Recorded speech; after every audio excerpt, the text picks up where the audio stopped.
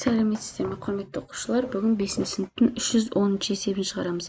Мында бірінші шығарайық. Мына бірінші тұрған алты мен сегізді. Алтыға сегізді көйтсек қырық сегіз енді ең үлкен ортақ бөлгішін табамыз.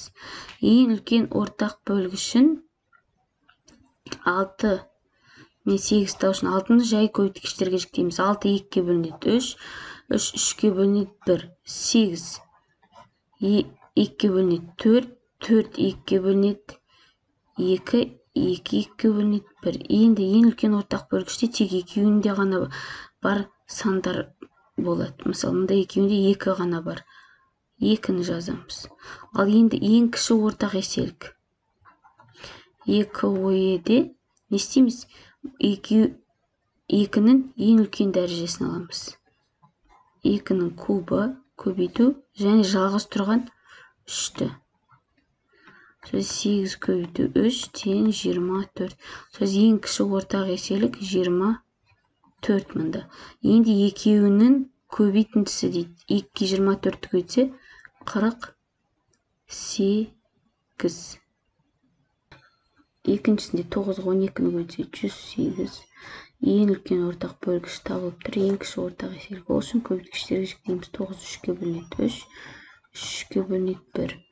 Он екі екіге бөлінеді алты алты екіге бөлінеді үш үш үшке бөлінеді бір енді ең кіші ортақ еселігі екінің көп дәрежесін аламыз және үштің көп дәрежесін аламыз мында міне мына мында екі көп мында екі көп мында үш көп сөзде төрт көбейту тоғыз тең отыз алты мына жерде отыз алтыға тең енді үш пен отыз алтыны көбейтсек жүз сегіз.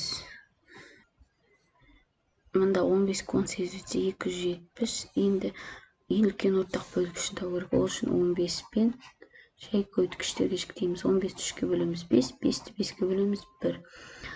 Ал енді он сегіз он сегізді екіге бөлеміз. Тоғыз тоғызды үшке бөлеміз. Үш үш үшті бөлеміз. Бір. Енді ең үлкен ортақ бөлгіш үшін екеуіне ортақ сан болу керек. Мында үш бар мында үш бар. Басқа жоқ. Сондықтан біз ең үлкен ортақ бөлгіш үш болады. Енді мында ең кішкентай ортақ еселік табылып тұр.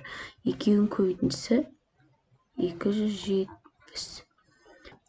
Төртінші есепті шығарайық. Төртіншісінде жиырма төртке алпысты көбейтеміз он төрт жүз қырыққа тең енді ең үлкен ортақ бөлгішін табу керек. Ол үшін мында жүктейміз. Жиырма төрт жай екіге бөлеміз екі алты алтыны екіге бөлеміз үш үшті бөлеміз бір алпыс екіге бөлеміз отыз отызды екіге бөлеміз он бес он бесті үшке бөлеміз бес бесті беске бөлеміз бір. Екі бар екі бар және үш бар. Екіге екіні көтеміз төрт төртке үшті көтеміз он екі. Ал ең кіші ортақ еселікте біз керісінше екінің неше? Ең үлкен дәрежесі мында. Қайсында көп? Мында. Үш дәреже. Көбейту үште жалғыз тұр және бес бар. Сегіз көбейту үш көбейту бес. Мына жерде сөзде жүз жиырма болады.